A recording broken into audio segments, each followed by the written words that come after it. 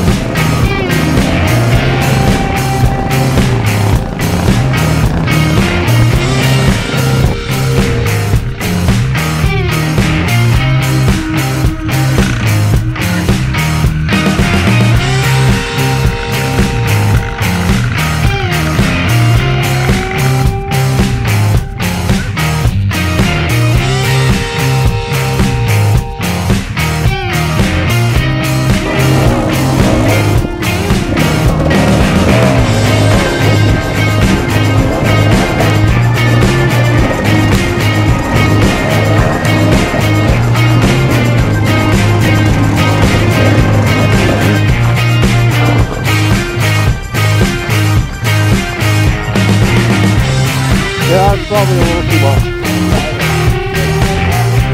First gear.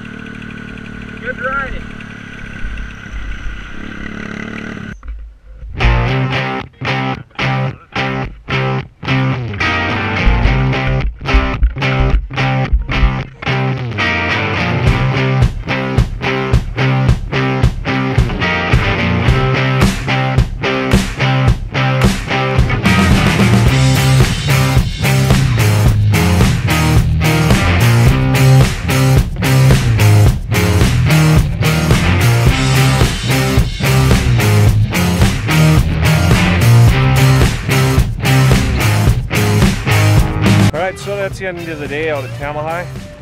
Uh, once the bikes were all running, everything was good. Uh, once I figured out that I didn't have any fuel in my bike. So we still got an air leak on the crank seal on this bike. We're gonna have to get that fixed up. I'm missing a clamp off of mine that I didn't notice. The Geo, we're gonna sell it, and uh, we're picking up a TTR 230 coming up next weekend. And I'll probably do a video on going to pick that one up. All right, thanks for watching.